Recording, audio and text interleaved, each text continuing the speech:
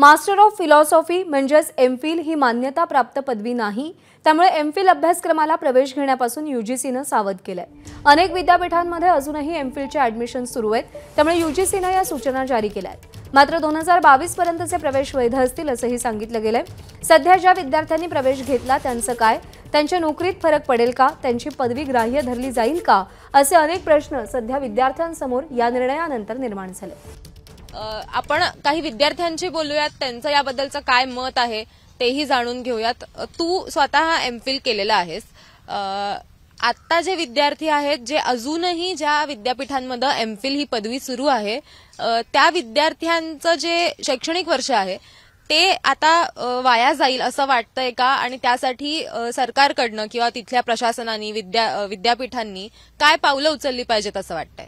आता अशी परिस्थिती आहे की अजूनही काही विद्यापीठामध्ये एमसाठी विद्यार्थ्यांनी नाव नोंदणी केलेली आहे. परंतु त्यांच्या मनामध्ये आता गोंधळ असा आहे की आम्ही संशोधन कार्य आमचं पूर्ण करायचं आहे का? की आम्ही ही पदवी रद्द करा- करायची आहे? जर त्यांनी ती पदवी रद्द केली तर त्यांना डायरेक्टली पी डीला ऍडमिशन मिळणार आहे का? या सर्व प्रश्नांची उत्तरे सी आणि विद्यापीठ प्रशासनाने दिली पाहिजेत. जेणेकरून विद्यार्थ्यांचं शैक्षणिक नुकसान होणार नाही आणि त्यांना त्यांचं संशोधन कार्य अधिक चांगल्या पद्धतीने करता येईल. महत्वाची बाब मॅडम अशी की पीएच डीसाठी आणि एमसाठी स्टायपंड दिला जायचा सरकारकडून. मग मला विचारायचं आहे सरकारला की हा स्टायपंड तुम्हाला जड होत होता का? जो गरीब विद्यार्थ्यांना मिळायचा म्हणून तुम्ही एम बंद केली. कारण का एम ही महत्वाची डिग्री होती आणि बऱ्याच वर्षापासून ही चालत असलेली डिग्री होती. मग आता दोन हजार एकवीस बावीस आणि बावीस तेवीसमध्ये ज्या विद्यार्थ्यांनी प्रवेश घेतलेले आहेत त्यांचे तुम्ही त्या वर्षांचं पूर्णपणे नुकसान होणार आहे.